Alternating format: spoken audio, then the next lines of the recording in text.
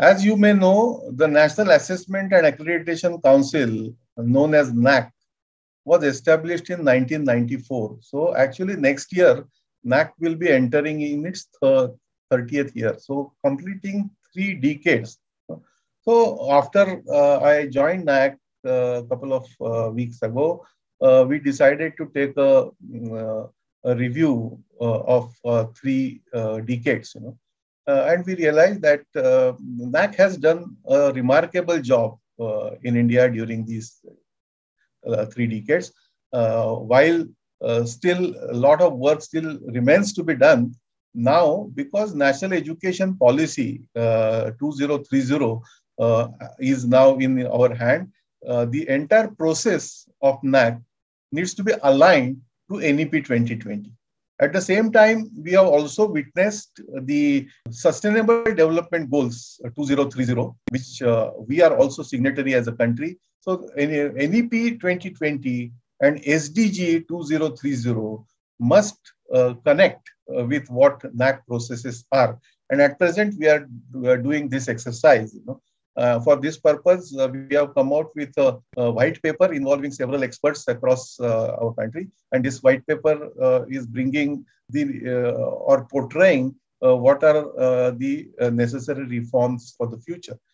main purpose of accreditation, I must tell you, that it is not again just to give you grades which you can display on your website saying that I am A plus, I am B or that person is uh, C or whatever. The purpose of accreditation actually is to improve quality.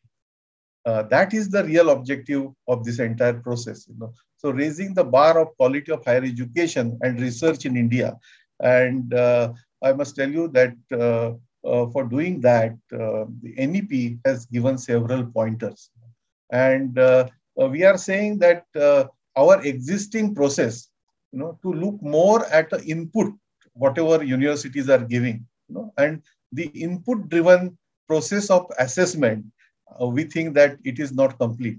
And so we'll have to really change this input based process to outcome based process. So rather than uh, how much constructed area is there in your university, you know, uh, how much of acres of land is there in your university, it is more important to know and not just number of faculty members in your university, but what is the quality of your faculty members in your university? How much of your students who come out of your university are really educated in the true sense? Because we differentiate now between the educated person uh, and a degree holder. A person or universities may be giving degrees, but are you really creating educated people or educated students? That is the real question. It is not very easy to measure that. But now, with the help of uh, new technology like artificial intelligence uh, and the uh, new initiatives of government of India, uh, like One Nation, One Data, this is possible. We are aware that institutions, uh, colleges and universities have to undergo a lot of efforts, you know, to go on giving data to various agencies. NAAC is asking you data, NIRF is asking you data, UGC is asking you data, AICTE is asking you data. So you have to give same data multiple times and that takes a lot of time of your staff, faculty members, etc.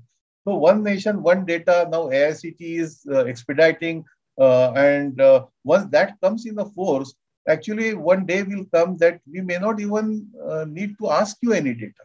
No, that data will be retrieved from the national database and on a real-time basis. You know, so our peer review teams, when they visit uh, to campus, you know, uh, they will be really actually as a facilitators uh, more than uh, kind of uh, inspecting uh, what is happening on the campus. So NAAC's role will be more also of handholding, helping more and more higher education institutes to come forward to get accredited uh, today large number of colleges remain unaccredited and so that is our focus that how to bring them how to even motivate them to register first uh, with NAAC so that schemes like Paramarsh, which UGC has come out with, can mentor a uh, lot of good institutions around uh, area wherein uh, these institutes which have not been yet uh, accredited can be mentored, you know, and this kind of a mentor-mentee relationship can help mutually, you know, because I, we, we are also aware that there are several colleges and universities which may be in